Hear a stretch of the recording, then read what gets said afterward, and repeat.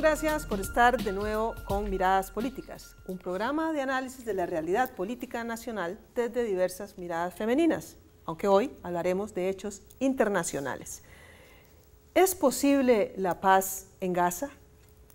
Es una pregunta para mucha reflexión, para mucho análisis. Ustedes podrán preguntarse, bueno, esa, la, la pregunta de los mil pesos, ¿verdad? O del millón de dólares, no es sencillo. Pero bueno, eh, este es un programa en vivo. Usted puede llamarnos al 25 11 15 15 y hacer sus preguntas o comentarios sobre este tema. ¿Es posible la paz en Gaza? Para eso tenemos dos invitadas. Xiomara Esquivel, de la Coordinadora de Redes de Apoyo a Palestina aquí en Costa Rica, y a Gina Cibaja, analista política, que nos acompañará en, en este análisis. Les recordamos 25 11 15 15 para sus preguntas y comentarios. Bueno, empecemos por la pregunta. ¿Qué opinan ustedes? ¿Es posible la paz en Gaza? Usted que está en esta coordinadora.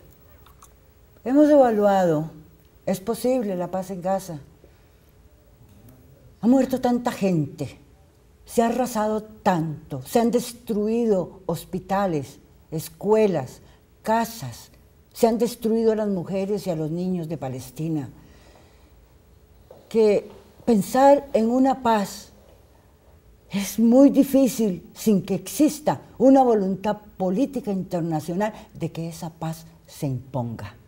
Pero ¿hasta dónde existirá la voluntad política internacional cuando los intereses a todos los niveles, políticos, económicos, militares, están precisamente en el exterminio de todo un pueblo que es el pueblo palestino? Yo creo que Xiomara tiene razón, pero también habría que pensar que en ambos lados hay muchas pérdidas, hay mucha tensión de muchos años acumulados. Esto no es una cosa de hoy, ni de ayer, ni de hace un mes. Es una situación que se ha gestado desde la mitad del siglo, del siglo pasado. Desde la primera mitad del siglo pasado empezaron los conflictos en esta zona y no han terminado. Y hay mucho resentimiento acumulado, hay muchas vidas perdidas, hay mucha Mm, muchos intereses, como dice Xiomara, que no son solo intereses civiles en defensa de los derechos humanos y de la libre determinación de los pueblos.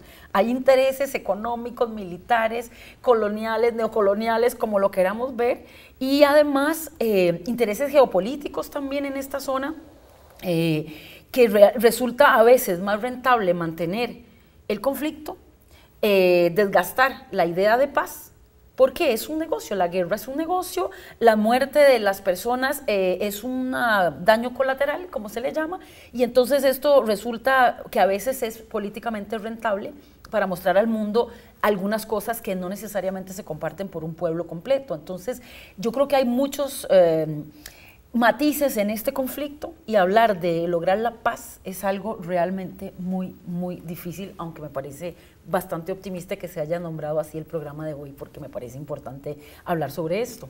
Y cuando la guerra es un negocio, donde lo, humano queda en un segundo o tercer plano, entonces, ¿qué nos está diciendo eso de lo, de lo que es la humanidad, verdad? Pero además hay algo, hay algo importante y es que esto no es un conflicto entre dos, entre dos posiciones. Esto fue una invasión a la tierra y una determinación que tomó una serie de países en Naciones Unidas en el año 48 de quitar la tierra a los palestinos y darle más de la mitad a los israelitas. Yo no estoy diciendo que los israelitas no tengan derecho a una parte de la tierra, pero si a final de cuentas yo quiero una casa y vos tenés la tuya, yo no puedo llegar y decir, dame la mitad de tu casa para vivir yo, porque estoy atropellando tus derechos.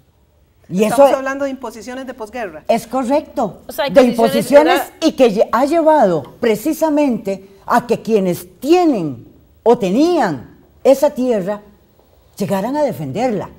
Si yo en el nombre de Dios digo, mira, aquí me mandó Dios porque lo escuché, de que yo tengo que tomar tu casa. Y además de que entro en tu casa y te tomo la mitad de tu casa o más de la mitad, empiezo a matar a tu familia, ¿qué es lo que haces? Yo me defiendo. Y mis hijos empiezan a defenderse y a intentar recuperar la tierra. Y mis nietos y mis bisnietos. Entonces no es un conflicto de simples rencores, es un, conflicto muy serio de apropiación de algo que no les pertenecía y que los ha llevado a, lo que está desencadenándose en este momento en Gaza, que es el exterminio total. Y que pagan de un lado y del otro, porque hay muertes tanto de un lado como del otro, ¿verdad? O sea, tanto hay muertes, eh, aunque estamos de acuerdo que hay más muertes de, de personas palestinas que de israelitas, ¿no? Pero en este caso estamos hablando de muertes de civiles, la mayoría de las muertes es de gente, de civiles, de niños, de mujeres, de niñas. Palestinos. Exactamente, la mayoría son palestinos, pero también en Israel hay muertes. ¿verdad? Los soldados. Eh, no necesariamente, también hay, hay eh, civiles, que se mueren. Tres civiles que bueno, Bueno, estamos de acuerdo, pero son civiles al fin y al cabo. O sea, uno. Y que además no lo mataron los palestinos según las últimas investigaciones. Bueno, pero ¿qué pasa con estos muchachos que, que detonaron este último conflicto, que fueron tres israelíes que fueron secuestrados, jóvenes, y que fueron eh, asesinados y que luego hubo represalias en ese sentido y que Israel alega que esto es una respuesta a eso y luego empiezan a responder a lo que jamás ha hecho bombardeos. Yo estoy de acuerdo en que no puede verse solo como una cosa de resentimientos, pero usted bien lo acaba de decir, se crece y se muere en una tierra que tiene eso atorado. Es su tierra. Porque, eh, por supuesto. Y entonces sus nietos, sus bisnietos y demás tienen esa, no, tal vez no lo vamos a llamar resentimiento, pero tienen esa eh, vivencia en su memoria histórica de invasión de desplazamiento, de vivir amurallados, de vivir con temor. Entonces, eso hace que los grupos extremistas en ambos lados, pues nada, porque en ambos lados hay grupos extremistas, capturen a esta gente joven y que los ponga a trabajar en función de esos intereses que no tienen nada que ver con la determinación de los pueblos, ni mucho menos. Y que esto, por eso es que es difícil hablar de paz, porque es como muy difícil eh, hablar de paz después de, de, estamos hablando más de medio siglo de, conflicto. De casi 70 años. 11, 15, 15 para sus preguntas o comentarios sobre nuestro tema de hoy. ¿Es posible la paz en Gaza? Vean el debate que nos tenemos, porque efectivamente hay razones religiosas, étnicas, políticas, militares, económicas, geopolíticas y cuantas más alrededor de, este conflicto que, que ha ido creciendo ha ido creciendo, ¿verdad? Desde los años 46-47, con la creación del Estado de Israel, que tampoco Aquí hay un tema, ¿a quién le consultaron la creación de ese Estado? No le consultaron. Fue un resultado de fuerzas externas, de decir, y, será esa, será esa, sí, parte del colonialismo, ¿verdad? De la imposición, parte no, y de importante, ¿verdad? de resarcir lo que había pasado con el pueblo judío durante el Holocausto. Entonces era una forma como de resarcir. Entonces, el que se negara a eso o sea, después de la Segunda Guerra Mundial podía resultar totalmente eh, inapropiado, por decirlo así, y el pueblo palestino pagó las consecuencias de esa forma de que Occidente decidió resarcir al pueblo judío. No, no, no, porque entonces tendrían que resarcir a los 25 millones de rusos y de húngaros y de, de gitanos, y ¿me entiende? Entonces, eso no se dio. Eh, ahí hubo otra clase de intereses.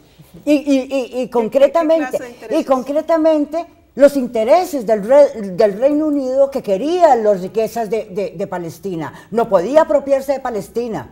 Ahí hubo una entrega de palabra y de compromisos. Por un lado, este, eh, naciones árabes y por otro lado, los israelíes. Yo te doy, mira, de escondidas, porque todo lo manejan así. Yo te doy y vos haces. Mira, yo les doy y, ustedes hacen de algo que no era pertenencia de ellos. ¿Y por qué sí con, con, los israelíes y no con el mundo árabe? Sí lo hizo y comprometió palabra con el mundo árabe y se hizo una división y se hizo un compromiso ¿Ah? Pero no pero, pero no sé, claro, porque los israelíes avanzaron más rápido que los, que los árabes. Con un agravante, Egipto, por ejemplo, ayudó a los nazis. Era una plataforma nazi en la Segunda Guerra Mundial. Entonces tuvieron que dar marcha atrás. Pero no me vengan a estas alturas diciendo de que por 6 millones de muertos que, que tuvo que pagar que tuvieron que pagar los, los israelíes, 6 millones de judíos en un holocausto espantoso, se les va a, resarcir. Porque entonces habría que pensar en los 25 o 30 millones de muertos también en un holocausto que hicieron los nazis con el resto de los países de Europa. Tampoco queremos 6 millones de muertos a estas alturas. De, Pero lo están haciendo. Lo están haciendo y se, sabe y hay registro todo lo que pasó, por ejemplo, en los países del este, eh, las luchas tribales en África y todo eso también fueron eh, genocidios, ¿verdad? Fueron genocidios y crímenes contra la humanidad, solo que eso resulta que ahí no hay tantos intereses. Yo coincido con lo que dice Xiomara de que es un, una zona del mundo donde hay grandes riquezas de las cuales los países, eh, las grandes potencias de Occidente no tienen acceso. Bueno, vemos la guerra en Irak. ¿verdad? ¿Y cómo está Irak en este momento? Todo está revuelto. O sea, exactamente, exactamente. ¿Y que, por qué invadieron Irak? Bajo pretexto de que habían armas de destrucción masiva. Y ya sabemos que eso fue una, una gran mentira. ¿Verdad? Pero era una forma de apropiarse de recursos, de desestabilizar un país y demás. Entonces, este tipo de conflictos no, no pueden ser mirados desde un solo lugar y evidentemente siguen habiendo muertes. Eh, crímenes contra la humanidad, porque con que muera una persona 6 millones eh, es un crimen. O sea, esto no puede ser que hayan civiles que paguen. Una eh, persona es un crimen. Por eso. Una persona o sea, por eso, una persona es un crimen, ¿verdad? Entonces, eh, de una a 6 millones sigue siendo el mismo acto, ¿verdad? Matar civiles, personas que no tienen ninguna posibilidad de decidir sobre ese destino, de, de tomar decisiones, de influir sobre esto, para tener eh, demostraciones de fuerza frente a las otras poblaciones como para generar miedo, para generar eh, disuasión y todo esto que conocemos que producen las guerras. 25 11 15 15 para sus preguntas o comentarios sobre nuestro tema de hoy. ¿Es posible la paz en Gaza? El gobierno en, Gaza, hablemos. ¿Quién gobierna Gaza? Hamas. esa es la representación, esa es la representación de, del pueblo palestino. ¿Cómo nació Gaza? ¿Cómo nació este Hamas? Perdón. Fíjate de que Hamas, como muchos de los grupos que, hay en este momento regados por el Medio Oriente, fue una creación de Estados Unidos. Ellos, dentro de, de todos sus intentos de apropiarse del Medio Oriente, fueron creando grupos, grupos afines a sus propios intereses y después el paquete se lo pasó a Israel. Israel les dio la orden de tirarse contra los palestinos y ellos eran palestinos y dijeron no. Y se fueron hacia el lado palestino. Pero entonces resulta de que un país sin ejército, como ha sido Palestina, desde la, desde, la imposición del Reino Unido, sin ejército, estoy hablando de un país que no tiene cómo defenderse. De pronto entraron unos, unos recursos en, un grupo. No estoy hablando de millones, estoy hablando de, recursos en armamento y en experiencia que los mismos gringos les es correcto les habían dado. Y entonces, si yo voy a defender mi territorio... Algo parecido con Al Qaeda, ¿no? Es correcto. Solo que Al Qaeda ha andado haciendo loco por todo lado. Se volvió una marca. Hamas, está defendiendo la tierra palestina. Ellos están defendiendo Pero ha sido catalogado como, así como se pide que se declare al Estado de Israel un Estado terrorista, jamás ha sido eh, declarado por varios países como una organización terrorista. Claro. Aunque fue electa. Antes, antes. Como organización partido, pero no como gobierno. Exactamente. Aunque fue electa popularmente, o sea, esta agrupación política fue, eh, militar, porque también tiene un brazo militar armado que tiene. Eh, eh, derivaciones un poco más radicales, digámoslo así, pero fue también electo en las elecciones en Gaza y es el que gobierna en este momento eh, Gaza, ¿verdad? Y es parte del conflicto porque las reacciones son también militares. Por eso en estos momentos es, en Egipto están sentados Israel y Hamas. Porque Hamas es la representación legal y oficial del Estado palestino. Ahora, en el caso de Israel, el gobierno actual de Netanyahu es un, es un gobierno conservador, muy conservador, ¿verdad? No. ¿O no? No. ¿Qué es? No. Es que en este momento hablar de conservadurismo o de liberalismo, no sé, no, sé. Eh, eh, en el momento en que un gobernante, bueno, un primer ministro, porque él no es el presidente, un primer ministro dice, llegaremos hasta el final de las consecuencias y arrasaremos lo que haya que arrasar, Eso no es ser conservador. ¿O es que habrá progresistas en, en No, no, yo no creo que sea progresista, creo que es radical. O sea, bueno, no sé, o sea, porque es decir, vamos hasta lo último, pero es con tal de que las condiciones del status quo no varíen. No, no, vamos hasta lo último, lo que no sabemos es qué es lo último. Y vamos a una pausa, regresamos en un instante en Giradas Políticas.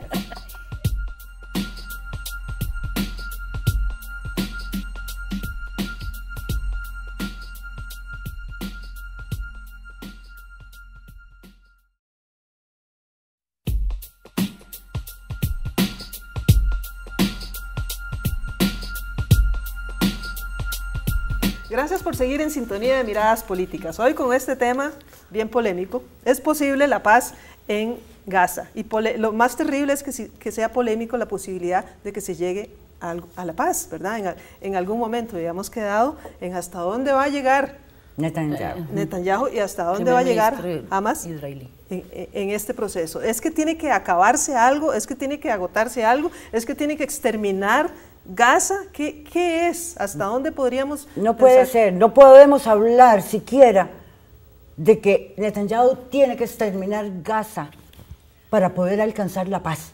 No se logra la paz con 6 millones de muertos cuando le tocó a Israel pagar con sus muertos.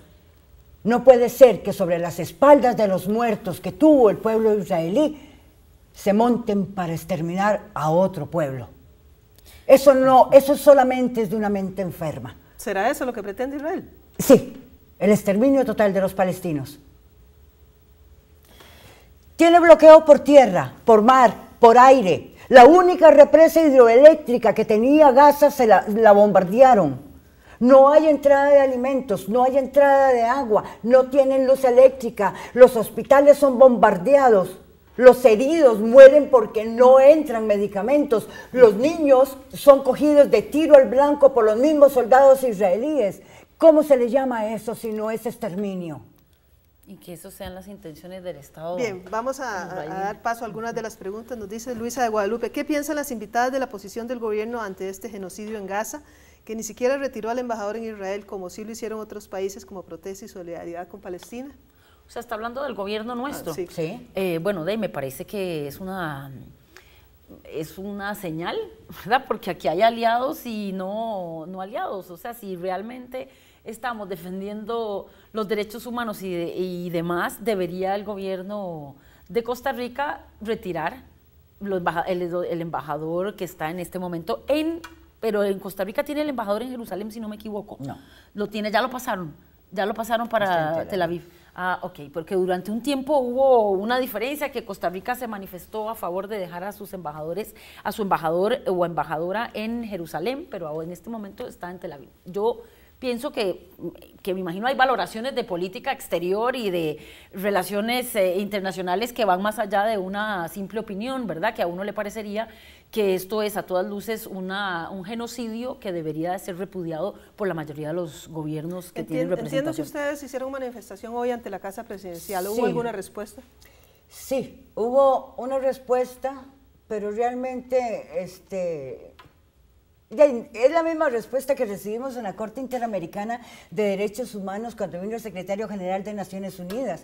El, presidente salió, hablamos con él y él dijo, se, está trayendo el embajador porque viene de vacaciones. Nosotros le hablamos de un retiro de las relaciones diplomáticas, de un rompimiento, perdón, de las relaciones diplomáticas. Él dijo, lo estamos sopesando. Después salió con que este, no era necesario porque se necesitaba un, un interlocutor no creo que el embajador sea el interlocutor necesario para, para Palestina, porque él es total y absolutamente sionista y aprueba y se sienta en una colina a tomarse su refresco mientras están bombardeando Gaza. Hoy hicimos una marcha a Casa Presidencial. Se le entregaron documentos al señor presidente. Él, en la rueda de prensa del Consejo de Gobierno, se manifestó en que según lo que, porque no he podido ver las noticias y según lo que nos dijo eh, eh, uno de los asistentes del despacho presidencial, es de que él manifestó que lo que estaba pasando en, Palestina no era una guerra, era una invasión al pueblo palestino. Y por lo tanto Costa Rica iba a utilizar todas las armas diplomáticas que tiene para poder que poder dar un espacio no dar un espacio para que eso se resuelva no es manifestar una posición. Nosotros estamos pidiendo el retiro del embajador y el rompimiento de las relaciones con, con Israel. Y estamos pidiendo además de que Costa Rica nombre un embajador en Gaza. Vamos leyendo porque si no, no nos va a dar mm, tiempo. ¿qué opinan las invitadas de la reacción de, la ONU y su papel ante este conflicto? Tenemos en las Naciones Unidas una división, bueno, que siempre se ha dado una división, pero donde más, donde más se siente esa división es en, en el Consejo de Seguridad. ¿Y por qué? Porque en el Consejo de Seguridad hay cinco naciones que tienen puesto permanente. Si una sola de ellas veta, no se acabó. Se, acabó. En este momento, perdón, en este momento, eh, eh, además hay como 23 naciones que van fluctuando en periodos y se, y se eh, manejan y se rotan la presidencia. En este momento, quien tiene la presidencia de agosto al 31 de agosto es el Reino Unido y en septiembre la tiene Estados Unidos. Yo pregunto, ¿habrá alguna posibilidad de que el Consejo de Seguridad apruebe? No, claro que no. O sea, yo creo que no y que además hay que decir que en el Consejo de Seguridad hay una alta representación de países que llamaríamos de Occidente. ¿verdad? Y entonces obviamente defienden intereses de lo que se conoce como el mundo occidental, ¿verdad? Donde obviamente no está Gaza ni esta parte del mundo. Y sabemos que Israel ha tenido tradicionalmente aliados eh, occidentales. Televidente de Cartago dice, es muy triste lo que pasa en Gaza y preocupante porque parece que no hay ninguna forma de que el conflicto termine. Las treguas no son respetadas y no hay asomo de acuerdo de paz, efectivamente. Luz de Desamparados dice, ¿estaremos ante una población en peligro de extinción? Totalmente de acuerdo. Sí, o sea, esto es como de estas especies que están, sí, yo también creo que esto es una especie de de política de genocidio y de exterminio. Qué lamentable, ¿verdad? Estas alturas de... Sí, que, bueno, esa era una cosa que yo quería señalar cuando dijimos, de, cuando hablamos sobre la posibilidad de lograr paz y de que hasta dónde es capaz de llegar Israel o el Estado Israel, israelita en este conflicto, que decíamos que está buscando el genocidio, el exterminio completo del pueblo palestino. Hay una situación que también hay que tener en cuenta, que hay una presión internacional, que no es de los organismos internacionales propiamente, sino de la ciudadanía y de movimientos sociales a nivel, alrededor del mundo que apoyan al pueblo palestino y que hay una serie de redes y de presiones que se hacen a través de las nuevas tecnologías de la información y la comunicación que están ejerciendo algún grado de presión y que hace 50 años probablemente este tipo de eh, eventos se conocían tiempo después, cuando alguien se infiltra, cuando alguien tomaba fotografías. En este momento las tenemos en directo y en vivo. Yo no sé si eso es más bien nocivo porque nos desensibiliza y pareciera que si firmamos una petición en línea, eh, ya estamos contribuyendo a, disminuir o a eliminar este conflicto. Vamos porque se nos acaba el tiempo, dice Descasú. También hay que comentar sobre todo el dinero que gasta Hamas construyendo túneles para invadir a Israel y que además no reconoce a Israel como pueblo, mientras que Israel tiene parlamentarios palestinos. Dice también Sargento Méndez de Detal 5, este conflicto viene de los tiempos de Moisés, cuando tomaron Jericó, era la tierra prometida. ¿Qué pasaría si los palestinos tomaran y arrasaran a Israel como el imperio bizantino? ¿Qué pasaría? Eso es una pregunta muy interesante, porque está pasando con el pueblo palestino, pero los sionistas no se han preguntado qué pasaría si los arrasaran a ellos otra vez. ¿Qué pasaría? yo creo que en este momento, en este momento, el espectro, el espectro espantoso del nazismo ha surgido. Europa entera está siendo arrasada por esos grupos neonazis y nazis que están matando a los judíos de nuevo. Los masacran, les disparan, los garrotean, les queman sus casas, les queman sus comercios, les, a los judíos. A los judíos, les invaden este, sus, sus, templos, se los queman. En Francia, toda la, la, extrema derecha de Jean Le Pen está en una persecución abierta de los judíos. Pero sabe una cosa, yo no le echo la culpa ¿Sabe a quién le echo la culpa? A los sionistas porque ellos están propiciando un nuevo holocausto contra los judíos, cuando la mayoría de los judíos en Europa se han manifestado en contra del exterminio de los palestinos. 150 mil rabinos marcharon en Nueva York hasta, hasta la sede de Naciones Unidas pidiendo paz para Palestina y que Israel se retirara. En Inglaterra todos los días en Londres hay marchas de los judíos protestando por eso. Creo que por eso es importante hacer la diferenciación entre políticas del Estado sionista o el Estado israelí y la vivencia religiosa que pueden tener miles de judíos, millones de judíos alrededor del mundo. Alrededor del mundo. Exacto, que, digamos no, no, tienen por qué responder ante estas cosas de, que tienen que ver con algo militar y con algo que en nombre de una religión, pero es un Estado sionista, o sea, no es que se refiere a todos los judíos del mundo, porque estas manifestaciones lo muestran. A veces no hemos separado exactamente, exactamente. De, lo que es la gente. Y ya creo que incluso, incluso dentro de la misma Israel hay manifestaciones. Hay, existe un partido comunista que se ha manifestado públicamente, que lo han tenido casi acuartelados sin poderse mover para poder llegar a las calles y decir a la gente es que las cosas no son así porque nosotros no somos así. voy a leer la última eh, intervención porque ya no nos da tiempo. Dice César de San José, ¿le parece vergonzoso lo que sucede en Gaza, lo que el Papa solo ore cuando no se necesitan solo oraciones, sino acciones a, favor del pueblo palestino? La posición del, posición del Papa debería ser realmente contundente. Tal vez si cerramos un poco con un mensaje Sí, muy, muy acertado lo que plantea César y yo creo que en este momento esto va más allá de una creencia religiosa. Eh, creo que va mm, más allá de la, de la, creencia religiosa de un pueblo o de varios pueblos. Creo que lo del Papa sería interesante que el Papa emprendiera acciones también de manifestación en contra de lo que está pasando en este momento en Gaza, pero sí creo que es una tarea de todos y todas porque ya estamos conscientes de que esto está pasando. Cinco segundos. No, cinco segundos no. A mí me dicen en la coordinadora, le quedan 30 segundos y yo digo dos minutos más. Pero siempre hay noticias. Usted estaba desesperada porque yo le dijera esa cosa maravillosa que me llegó como noticia. Y se la voy a contar y se lo voy a contar a todos los televidentes. Me llegó la comunicación de que el gobierno escocés, que en este momento está enfrentando un referéndum para el, el mes de septiembre, el gobierno escocés en muy poco tiempo en el Parlamento aprobó 500 mil euros de apoyo a Palestina, traducidos en víveres, alimentos y agua.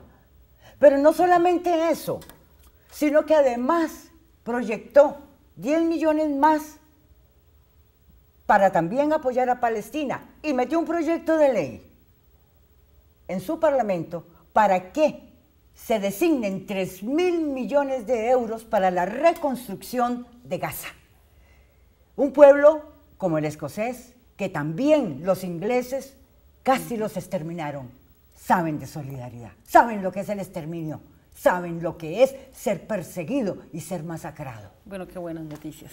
Son muy buenas noticias. algo positivo entre este terrible conflicto. Bien, muchas gracias a, Gina y Xiomara por habernos acompañado hoy a Miradas Políticas y gracias a ustedes por su audiencia. Nos vemos en el próximo programa.